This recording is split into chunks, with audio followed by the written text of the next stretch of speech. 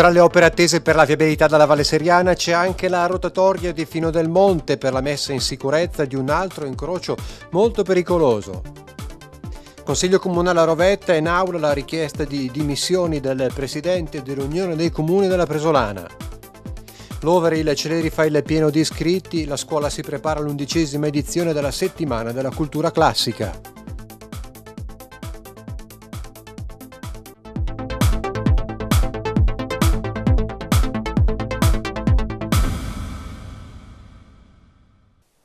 Buonasera, ben ritrovati con il telegiornale di Antena 2.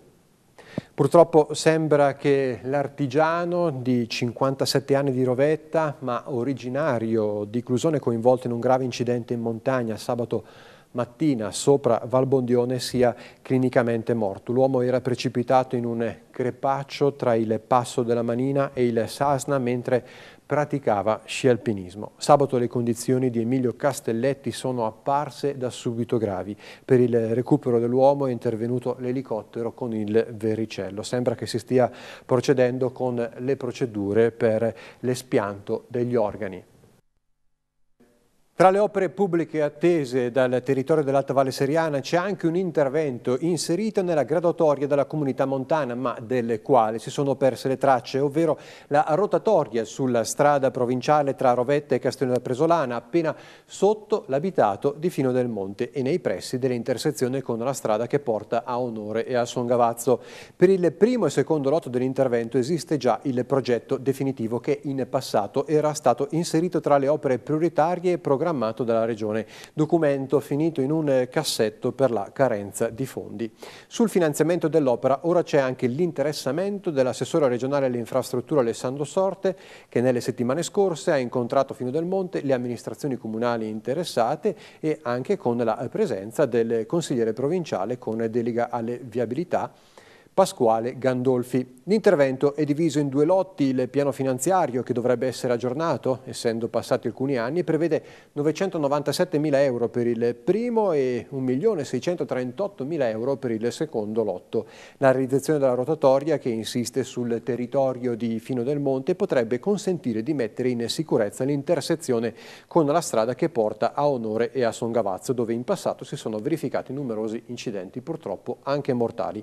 La strada di collegamento con gli abitati di Fino del Monte e Rovetta, oltre a ridurre il traffico sulla pericolosa intersezione tra via Fantoni e via Papa Giovanni XXIII a Rovetta, dove la scorsa settimana si è anche verificato un incidente, consentirebbe l'accesso diretto al territorio di Fino del Monte da parte dei mezzi pesanti che oggi devono sottostare ai limiti di carico imposti dalla pavimentazione in pietra presente nel centro storico rovettese. La variante potrebbe inoltre, considerando alleggerimento eh, del traffico, dare una nuova viabilità all'incrocio tra via Fantoni e via Papa Giovanni XXIII a Rovetta.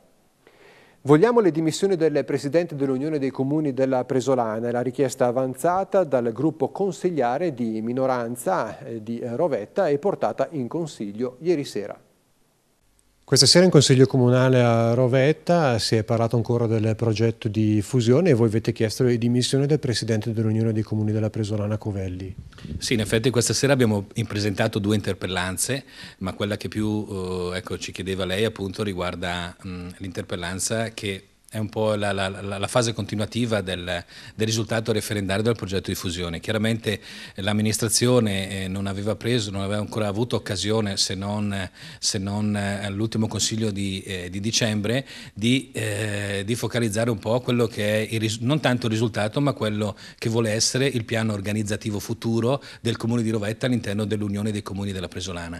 Noi riteniamo, come abbiamo detto anche durante la campagna referendaria, che l'Unione dei Comuni è fondamentale vale per il comune di Rovetta come anche per tutti gli altri comuni, ma necessita assolutamente di una spinta diversa eh, anche nella sua organizzazione e nella sua attività. Quindi anche nell'interpellanza abbiamo chiesto come, come, atto dovuto anche le dimissioni da parte del, dell'attuale Presidente, eh, il quale giustamente va ringraziato per tutto il suo impegno che ha dedicato all'Unione dei Comuni della Presolana, ma oggi a fronte del risultato di bocciatura del referendario della fusione necessita assolutamente la, la, di un cambio cambio di presidenza, un presidente chiaramente che non deve essere solamente un cambio di nome, ma ci deve essere un presidente determinato a far funzionare come si deve l'Unione dei Comuni della Pesolana, come attraverso una gestione associata dei servizi che produca beneficio per tutti i cittadini, ma soprattutto un'economia anche del, dei costi. E questa sera avete detto eh, no al bilancio qui in comune a Rovetta? Sì, il, il no perché è vero che vengono mantenute eh, eh tutte le aliquote IMU, Tasi e Tari, e anche IRPEF non vengono aumentate ma non per volontà dell'amministrazione ma perché c'è un'imposizione governativa che impone ai comuni di non aumentare le aliquote, le aliquote che ho detto prima. E noi speravamo che ci fosse un'attenzione soprattutto per quelle che sono le attività commerciali, piccoli artigiani eh, presenti sul nostro territorio e soprattutto perché stanno vivendo come tutti noi un momento di crisi economica. Credo che sarebbe stato un segnale importante che questa amministrazione ehm, producesse, generasse degli incentivi o degli sgravi, mi viene da pensare eh, sul, sulla tassa dell'immondizia, quindi sulla Tari, a favore appunto degli usi non domestici, quindi questi piccoli commercianti, questi piccoli artigiani, eh, sarebbe stato secondo noi un segnale importante che questa amministrazione dava soprattutto a questo momento di crisi economica. Sentiamo ora la replica del primo cittadino di Rovetta, Stefano Savoldelli. Eh, all'interno dell'interpellanza che ci è stata posta questa sera c'era anche la richiesta di avvicendamento del Presidente dell'Unione Comuni della Presolana. Eh, su questo punto va eh, sottolineato che eh, in Consiglio Comunale non si può decidere in merito della Presidenza di un ente che ha la sua autonomia. Eh, tuttavia il Presidente Covelli eh, ha dimostrato in questi anni grande attaccamento, passione e disponibilità a lavorare lavorare per eh, un ente che coinvolge anche eh, comuni che non sono il suo, perché sono prima sei, poi cinque comuni conosciuti di Castellone della Presolana e fare il Presidente dell'Unione significa eh, impiegare il tempo tanto quanto ne devi impiegare per il tuo comune. Quindi a Covelli tutta la nostra, la mia gratitudine per l'impegno e per il lavoro, per la professionalità che ha prestato. L'avvicendamento credo che sia una cosa eh, naturale eh, proprio per consentire di eh, cambiare un po' eh, l'impostazione dell'ente stesso ma soprattutto per eh, consentire a chi ha dato tanto in questi anni di poter eh, lasciare spazio a qualcun altro. Quindi è probabile che in futuro quindi ci sia un avvicendamento della Presidenza? Ma diciamo che l'avvicendamento era già eh, nelle cose da, da, da, diverso tempo, solo che non si è più proceduto a questo in una logica di, eh, diciamo così, di staffetta tra un sindaco e l'altro perché eravamo eh, partiti col progetto di fusione e ehm, a seguito del quale abbiamo voluto dare continuità fino al referendum. Ora il referendum è passato da ormai quattro, quattro mesi pardon, e a questo punto credo credo che eh, i tempi siano maturi per eh, eh consentire un, eh, un, un nuovo mm, il cambiamento del Presidente. Ecco, in Consiglio Comunale questa sera anche il bilancio e le varie tariffe, le minoranze hanno detto no. Sì, abbiamo approvato il bilancio di previsione del 2017 e contestualmente, anzi preliminarmente, abbiamo approvato le, eh, le aliquote e le tariffe. Eh, abbiamo mantenuto le tariffe dell'addizionale IRPEF, IMU e TASI, eh, peraltro bloccate anche a seguito dell'impostazione governativa, dell'impostazione statale nella legge finanziaria del 2017. Per quanto riguarda invece la tassa dei rifiuti, siamo riusciti a ridurre, eh, seppur di poco, da una cifra che va dal 3 al 4% eh, per le utenze domestiche, eh, la tariffa grazie all'innovazione che abbiamo introdotto nel maggio del 2016, eh, ossia la raccolta differenziata della frazione organica eh, dei rifiuti, cioè il, il, ehm, il, contenitore marrone che è stato distribuito a tutti i cittadini. Eh, questa innovazione ha consentito di fare un balzo in avanti notevole per quanto riguarda eh, la percentuale di raccolta differenziata e ciò ha eh, comportato una riduzione di eh, spesa complessiva del, del servizio. Pertanto questa riduzione ci fa ben sperare per l'anno prossimo che non più su sette mesi si farà la raccolta differenziata ma su 12 mesi si potrà ehm, considerare un, o ipotizzare una riduzione ulteriore della tassa dei rifiuti. Eh, nel bilancio siamo riusciti a confermare questo un elemento di grandissima soddisfazione da parte nostra, tutti quei capitoli di spesa che consentono eh, una corretta e adeguata eh, vitalità del comune e un livello di servizi molto alto. Per esempio, faccio solamente alcuni esempi, il livello di manutenzione di tutto il patrimonio comunale, eh, degli, degli, edifici scolastici e pubblici, eh, il trasporto pubblico, il trasporto dei, dei bambini e dei ragazzi ragazzi delle elementari e delle medie eh, gratuito, il, eh, il mantenimento di eh, contribuzioni per eh, l'organizzazione dell'attività turistica, eh, per, eh, per l'abbattimento delle rette per il diritto allo studio, quindi anche per contenere le spese dei bambini che vengono iscritti all'asilo. Ora ci spostiamo all'Overe, il polo liceale fa il pieno di iscritti. Innanzitutto da poco si sono chiuse le iscrizioni. Come è andata per il Celeri? È andata bene, molto bene, superiore alle aspettative in quanto, visto il calo demografico che assilla l'Italia e un po' tutti i posti occidentali, ma soprattutto le nostre vallate, io temevo un tracollo dovuto alla crisi del lavoro, alla crisi della famiglia, alle nascite, proprio poi vedendo i numeri delle scuole di primo grado, le terze medie, temevo peggio. E inoltre il fatto di essere un classico, un artistico e lo scientifico, il liceo, è vero che c'è stata una leggera ripresa, ecco noi possiamo dire che abbiamo gli stessi ragazzi che escono rientrano, quindi le stesse classi. E in più un altro anno partiamo anche col liceo sportivo, indirizzo sportivo, la seconda classe della provincia di Bergamo è stata assegnata qui a Lovere e quindi potremo attivare anche, arricchire l'offerta formativa con questo nuovo indirizzo. Ecco, in questi giorni poi siete impegnati su quello che è un grande progetto della scuola, che è la settimana della cultura classica, ecco, che quest'anno raggiunge l'undicesima edizione. Esatto, l'undicesima edizione eh, non è poco, in questi tempi resistere così tanto, è un'innovazione pedagogica didattica, un modo nuovo di fare scuola. E eravamo partiti per portare i ragazzi a teatro, per rendere più allettante quello che erano gli studi dei classici degli antichi, portandoli loro in scena con un effetto catartico perché essendo sul teatro si muovono delle dinamiche nei giovani che eh, sorprendono sempre tutte le volte quando si vedono come cambiano una volta che devono interpretare i classici. E in più riportare la nostra tradizione, le nostre terre in queste vallate, il teatro ha sempre rappresentato quello che era una ricchezza, non c'è un paese dove non c'era una, una, compagnia teatrale in dialetto, in vernacolo ed serviva a rendere la vita più piacevole. Da questa 11 anni fa una professoressa lungimirante introdusse come metodologia il teatro in una classe del classico, interpretando le tragedie greche.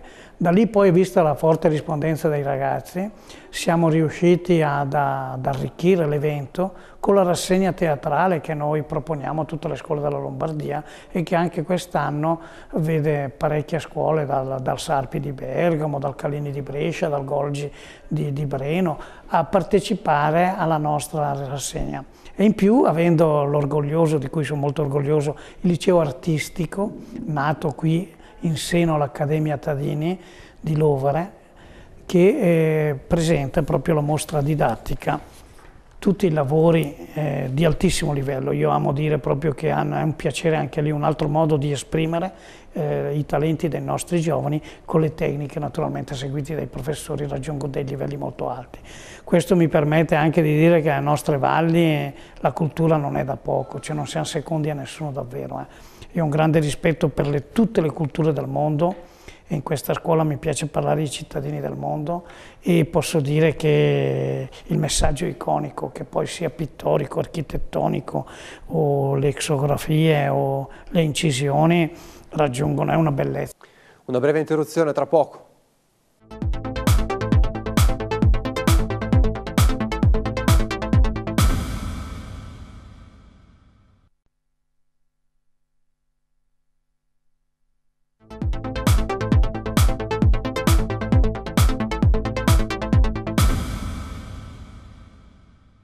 Rieccoci in onda con il telegiornale di Antena 2.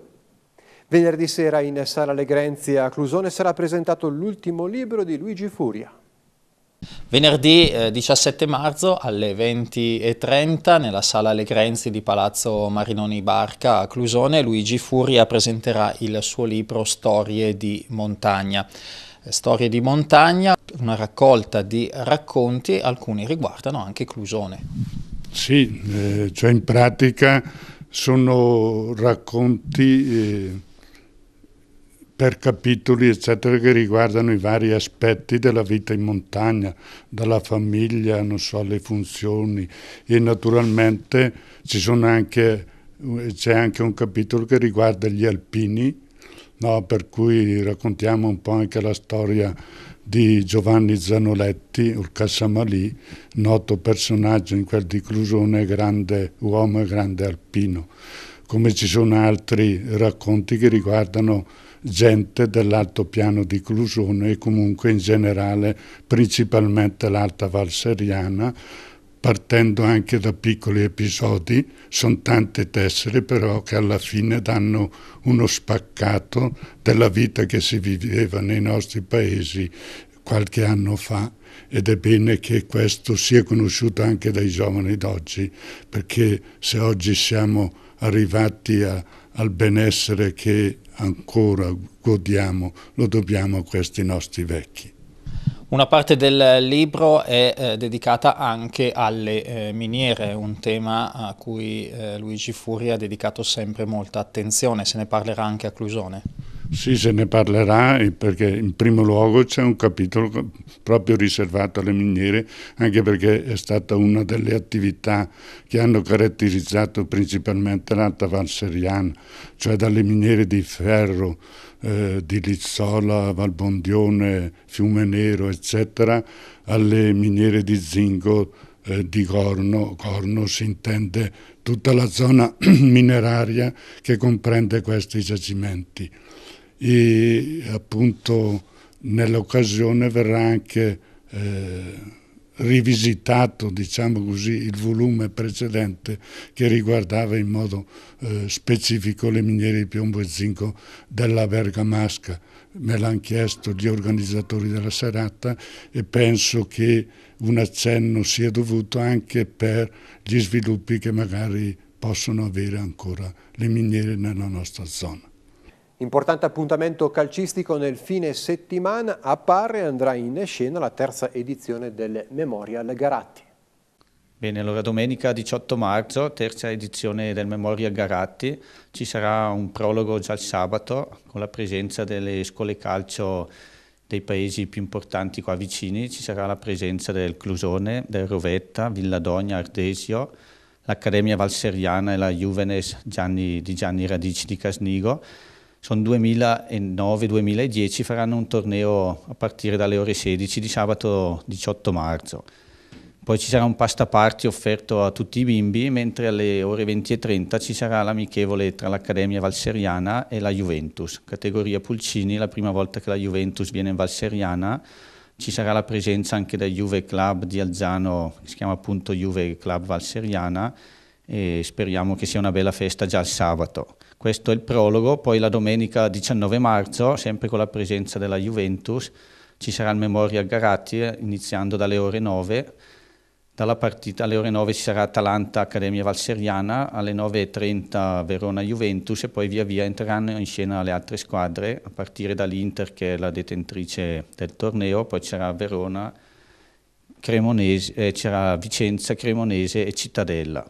La formula è molto snella, eh, l'abbiamo concordata con gli allenatori delle, di queste società importanti e quindi non c'è possibilità di annoiarsi appunto perché sono partite di 25 minuti di bimbi categoria Pulcini che partiranno a mille all'ora e ci sarà veramente il meglio del calcio quasi nazionale, comunque di certo dell'Italia settentrionale con la presenza appunto di squadre come l'Inter e la Juve che tra l'altro si incontreranno alle 15.30 della domenica pomeriggio e da lì in poi ci saranno tutte le finali. Ecco, questo è il torneo, ci sarà a disposizione di tutte chi vorrà venire a assistervi, le cucine saranno sempre aperte, c'è appunto i famosi scarpinoc di Parre e Strinu e quant'altro c'erano due, due bar attivi, quindi chi, per chi vuole divertirsi c'erano tutte le possibilità, insomma, noi vi aspettiamo e confidiamo, una, dovrebbe essere anche una bella giornata e confidiamo come l'anno scorso in un folto pubblico, grazie.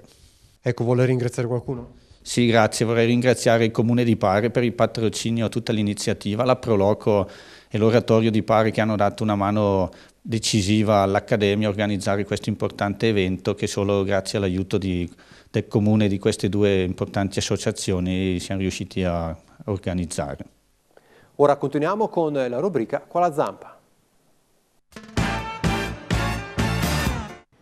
Ben ritrovati a un nuovo appuntamento con il veterinario, vorrei parlarvi in questa puntata delle difficoltà che eh, qualcuno può incontrare nel trasportare il proprio cane in auto. Eh, dovete capire che sicuramente muoversi su un'auto su quattro ruote non è proprio la cosa più naturale che un cane possa affrontare e alcuni soggetti possono dimostrare paura eh, o grosse difficoltà. Qualche consiglio è sicuramente quello di eh, fare un avvicinamento graduale. Cominciate con l'auto spenta, ferma e eh, con le portiere tutte aperte. In questo modo il cane può essere messo in macchina, fatto salire e eh, cominciare a farlo avvicinare dando proprio la sensazione eh, di spazio aperto, tutte le portiere aperte e premiarlo quando lui si dimostra eh, tranquillo e sereno. Il passo successivo è quello di abbassare i finestrini e chiudere le portiere e quindi farlo sentire a proprio agio già in un ambiente un pochino più chiuso. Sicuramente ricordatevi che eh, premiare il cane quando dimostra un impegno, quando si dimostra a proprio agio, aiuta e velocizza il processo di farlo sentire a proprio agio. A questo punto, quando il cane comincia a sentirsi tranquillo all'interno dell'auto, potete cominciare a mettere in moto l'auto e eh, a questo punto, senza spostarla, fare in modo che eh, le vibrazioni e il rumore del, del motore non creino fastidio.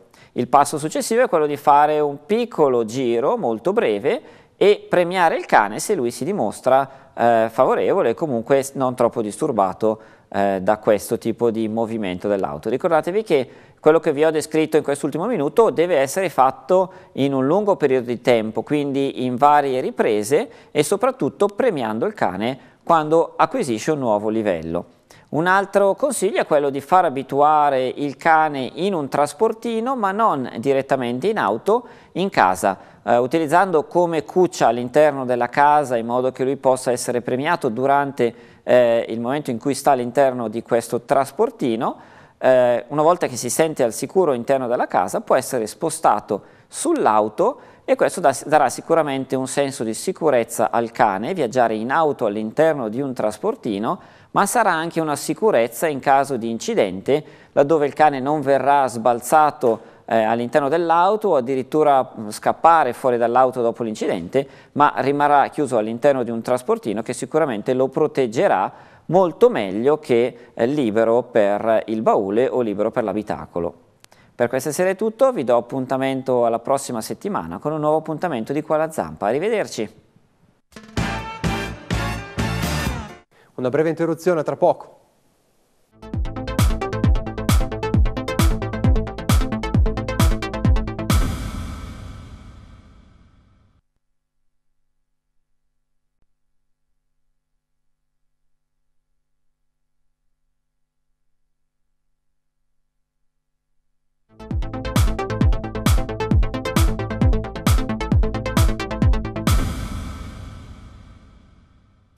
Torniamo in onda con il telegiornale di Antena 2 e continuiamo con la programmazione televisiva. Questa sera sul canale 88 alle 20.40 trasmetteremo il Sasso nello Stagno. Questa puntata ci porterà ad Ardesio per eh, parlare della ludopatia e dei eh, 5.000 casi che eh, ci sono purtroppo sul territorio bergamasco. Alle 21.20 trasmetteremo Antena 2 Sport, alle 22.30 la seconda edizione del nostro telegiornale, alle 23.10 tempi supplementari. Sul canale al numero 218 alle 21.30 trasmetteremo di nuovo una uh, edizione del telegiornale di Antenna 2 e alle 22.10 trasmetteremo Target, il servizio ci porterà a Pisogno dove domenica è andata in scena la camminata in rosa alla quale hanno preso parte circa 400 persone. Sul canale sportivo numero 628 alle 20.30 trasmetteremo la partita di calcio Albino Gandino Cisanese mentre alle 22.10 lo speciale dedicato alla maratonina di Treviglio. Ecco anche l'almanacco per domani mercoledì 15 marzo, il sole sorge alle 6.28 e tramonta alle 18.30, il culmine è alle ore 12.29, la durata del giorno è di 12 ore e 2 minuti. La luna sorge alle 21.28 e tramonta alle 8.33 di giovedì, la fase lunare, la luna è calante ed è visibile al 79%. La chiesa ricorda Santa Luisa. Ecco anche il meteo, il cielo vedrà una copertura nuvolosa medio-alta più fitta nelle ore centrali della giornata, temperature in ulteriore aumento. E con questo è tutto, siamo giunti al termine di questa edizione, grazie per la vostra attenzione e buona serata a tutti.